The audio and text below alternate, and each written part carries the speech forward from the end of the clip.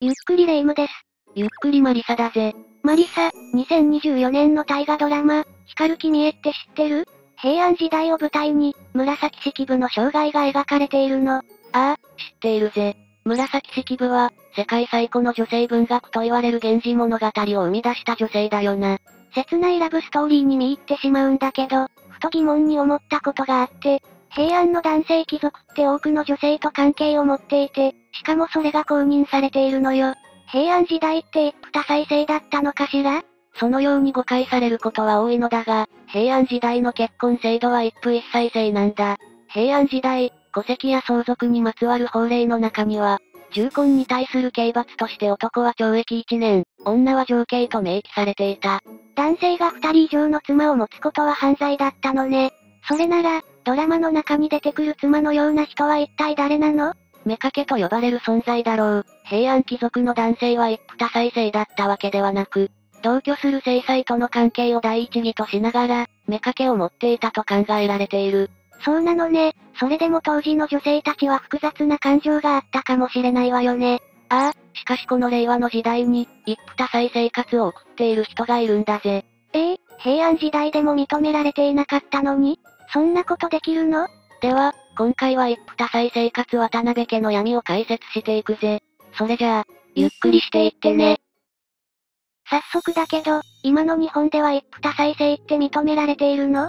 日本の法律では許されていないんだ。民法732条は、配偶者のある者が婚姻することができないと定め、万が一重婚に気づかず、届け出がされてしまった場合、民法744条によって取り消すことができるとされている。もし重婚してしまった場合はどうなるのかしら？重婚罪として2年以下の懲役が課せられることになる。ただ、事実婚という形で独自に一夫多妻の形を取り入れているのが、渡辺裕太さんなんだ。渡辺さんってどんな人？北海道札幌市に在住の渡辺さんは現在36歳で、4人の夫人と複数人の彼女がいる。待って待って、4人も奥さんがいるのもびっくりなんだけど彼女もいるの？そうだぜ。ネットの記事には、渡辺さんが一夫多妻制をとっている理由について、犬好きの人が一匹飼ったらもう一匹飼いたくなるケースが多いのと同じで、僕は女性が好き。平等に愛せば問題ないと書かれていた。未知の世界すぎて情報についていけないわ。奥さんたちはどういう人なの？第一夫人、久崎さんは18歳の頃、アプリで渡辺さんと出会ったんだ。両親が料理人の家系で料理が得意なため料理担当となっている。一夫多妻の生活を私がするなんて考えたこともありませんでした、と話す久崎さんは、事実婚になったきっかけについて、完全に流れですと話しているぜ。流れだったのね。初めての相手が渡辺さんで、出会った頃は焼き餅を焼くこともあったようだが、彼の男らしくてみんなをリードしてくれるところが大好きだという。久木さんは、他の夫人たちのことを家族であり友達だと思っているんだぜ。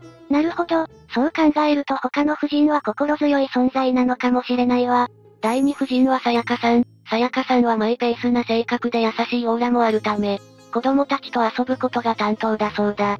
多妻については、モテない人よりモテる人の方がいいかと考えているらしい。マイペースなさやかさんらしい考え方ね。渡辺さんと初めて会った時写真と違う人が来たと思ったようだが、一緒に過ごすうちにどの元彼よりも面白く刺激的で、自分にはない部分をいっぱい持っているから飽きない、と感じるようになっていったというぜ。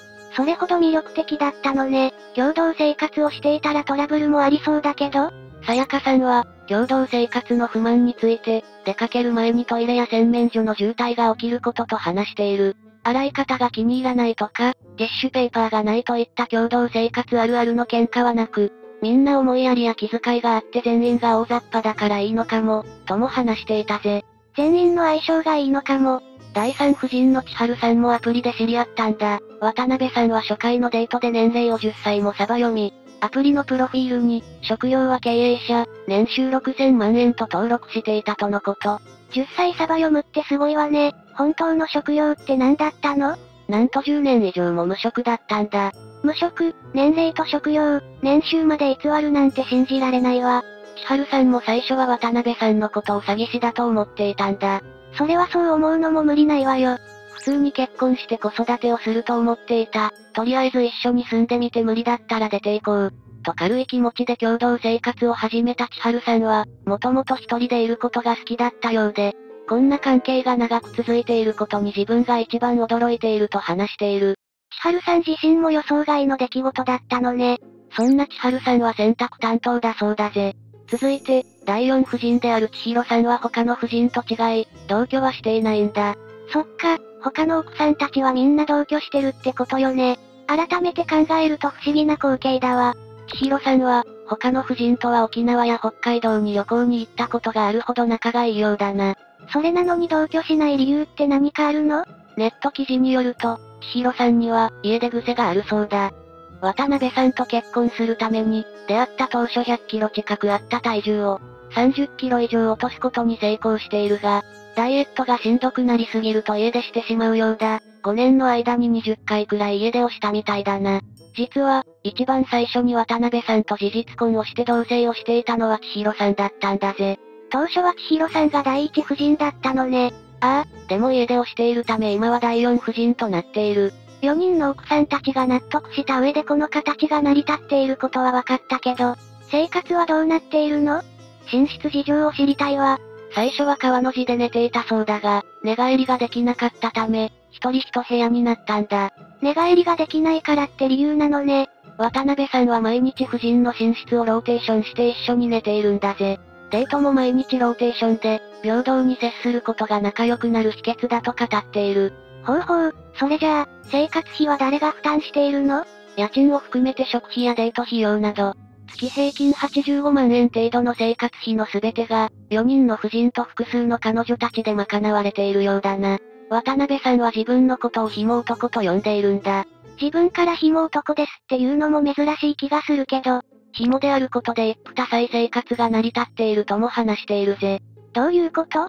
渡辺さんが朝出勤して会社に行って、夕方帰ってくるという生活をすれば、それぞれの夫人に時間を作ることができなくなってしまうから、紐であることが一夫多妻生活の秘訣ということらしい。時間を作るために働かないってことだったのね。20代前半から働いていないという渡辺さんだが、4人の夫人以外にも彼女がいるため、自分の役割はデートだと語っている。他にも家事をしたり子供の面倒を見たりしているようだ。さっきから気になってたんだけど、もしかして渡辺さんってお子さんがいる ?2024 年1月現在で、久崎さんとの間に2人、千春さんとの間に1人、彼女たちとの間に6人の計9人の子供がいるぜ。9人もいたのね？渡辺さんの夢は54人の子供を作ることなんだ。なんで54人？無類の子沢山として知られる将軍、徳川家成の子供が53人だったため、54人の子供を作って歴史に名を残したい、彼を超えて新しい伝説を作りたいとのこと。もう十分伝説の人だと思うけど、そのために、精子バンクにボランティアで参加し、この事業を拡散しようと考えているそうだ。ただ、全員の子供の面倒を見るのは経済的にも時間的にも厳しいため、自分の精子を利用して、精子バンクで困っている人の役に立てたら嬉しいと話していたぜ。大きな夢のために活動しているのね。世間の反応はどんな感じなのかしら？働け、日本から出ていけという否定的な意見がほぼ毎日送られてくるようだ。しかし、そういう意見に対しては何も思わないし何も感じない、と渡辺さんは話しているぜ。一般的な恋愛観とはかけ離れているように思うけど、もともとそういう感覚を持った人だったの？それが、失恋をきっかけに変わっていったというんだ。恋愛観が変わるほどの失恋？何があったの ?30 歳の頃、結婚を前提に付き合っていた彼女がいたが、その彼女は相当な資産家の娘だったという。きちんと親にも挨拶し、同棲をしていて、本当に一途に思っていた彼女から突然、年収4000万円ない男はきついと振られてしまった。そこからとことん振り切ってやろう、と思い、普通の恋愛の概念にとらわれないよう、自分の中のリミッターを外して遊びまくるようになったそうだ。一途な恋愛から本能のままに生きる恋愛になっていったわけね。気づいた時には同時に12人の女性と付き合っていることもあったとか。12人も誰が誰だかわからなくなりそうだわ。その中の二人が千春さんと久木さんだったんだ。同居する前に何度も三人で遊んでいたこともあり、相性やバランスを見て大丈夫だなと感じたため、三人で相撲家となったと渡辺さんは話している。当事者がそれでいいなら誰も文句は言えないわね。さらに、それだけでは終わらず常にアプリで、新しい夫人を探しては一緒に暮らそうと声をかけていたんだ。はじめは彼女たちも驚くわよね彼女たちの本音を知りたいわ。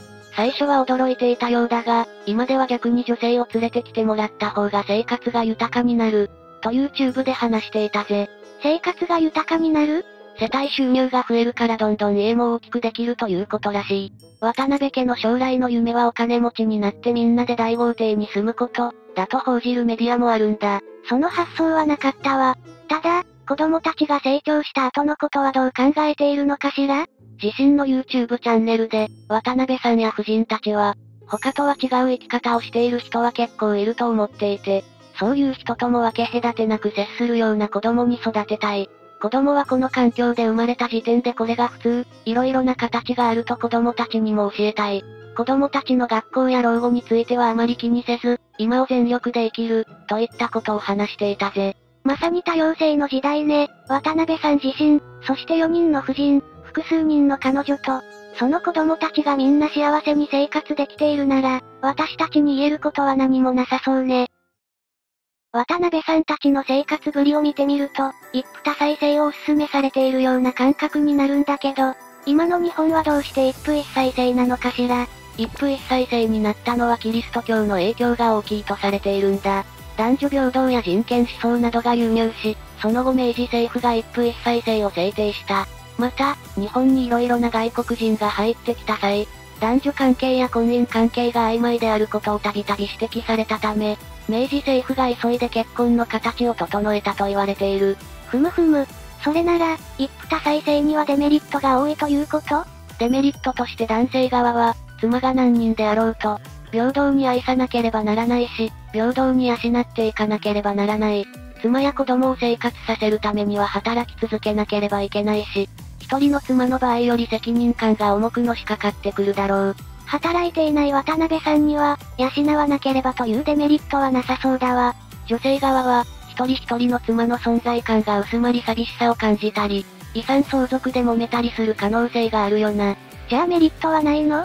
一夫多妻制のメリットとして、何人の女性を好きになっても非難されないことが嬉しいと感じている男性や、好きな人に恋人や奥さんがいたとしても、一緒になれる可能性があると感じている女性がいること。好きな人と結婚して出生率が上がることなどを挙げているメディアもあったぜ。一夫多妻制にはいいところも悪いところもあるのね。しかし、近年では女性の社会進出への取り組みや、高い水準の教育を受けさせるため、一人の妻との間に生まれた子供に高額な教育費をかけた方がいい、という考えから、現在の日本には一夫一妻制が合っているという見方もされているんだ。日本経済の事情も関わっているのかもしれないわね。渡辺さんの将来がどうなっていくのか見守っていくわ。それじゃあ今回の解説はここまで。ご視聴ありがとうございました。